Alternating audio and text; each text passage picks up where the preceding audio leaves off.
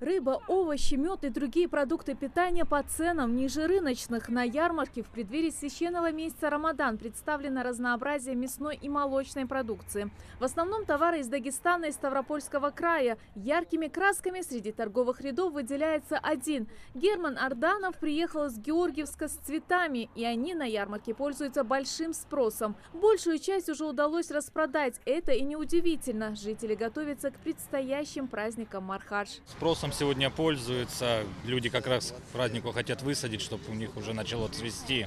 Поэтому на сегодняшний день спросом пользуются. В ассортименте товара занимаюсь голландскими цветами в основном. Вот они, с краснодарского питомника. А цветы в основном все завезенные из Голландии к нам. В основном все идет многолетники, есть однолетники. И практически все, что в этом году уже будет цвести. Уже ближе к полудню многие предприниматели успевают реализовать весь свой товар. Главное, что покупатели довольны. Говорят, цены здесь ниже рыночных и приобрести можно все самое необходимое. Цены приемлемые. Я вот только спрашивал меда, видите, мед очень хороший, чистый, не- недорого, нормально продают. Цены хорошие, очень даже уступчивые. Все продавцы уступчивые, они уступают. Э, Так что обижаться не надо. Довольные, люди очень даже довольные ходят. Вот моя бабушка тоже довольная этим. Так что большое спасибо всем тем, кто это организовал. Конечно, это не- нелегко организовать, конечно, это стоит определенные расходы, труд. Но тем не менее, это ради людей сделано, люди довольны. Большое спасибо. 230 дня bu yok ağardı kılması. Takviye yiyorsun ya. Hadi yak. Teker 330 mı diye hadi daş bulacak. O здоря бы. Ярмарка по доступным ценам – своего рода подарок администрации Магаса жителям республики в преддверии месяца Рамадан. На этой ярмарке большой ассортимент необходимых продуктов питания, которые так или иначе понадобятся в месяц Рамадан. А, Большим спросом здесь также пользуется мед из Ставропольского края. Давайте его попробуем. Действительно очень вкусно.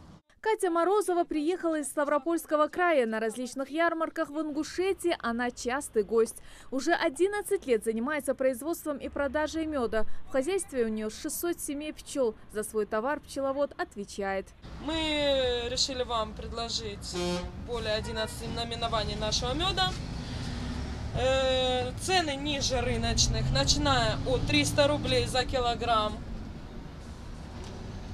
Это вот горное разнотравие. До 700 рублей за килограмм это липовый мед. Это заповедничек, есть гречка. Э, Меда у нас э, есть, э, также вот мед с прополисом, это готовый антибиотик уже. Если акация, это диетический мед, гипоаллергены, также можно при сахарном диабете, стоматит и у кого аллергия.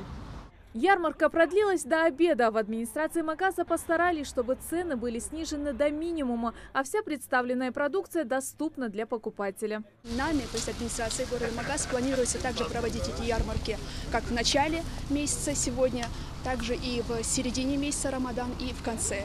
А, Такая работа проводится ежегодно, и а, мы стараемся развиваться в этом направлении и привлекать все больше и больше предпринимателей. И хотя ассортимент в этот раз оказался не слишком обширным, организаторы намерены в следующий раз привлечь к ярмарке как можно больше производителей, включая и местных, чтобы посетители смогли приобрести здесь все необходимое по самым минимальным ценам. Светлана Томова, Саид Куштов, Хаваш Гойгов. Новости 24.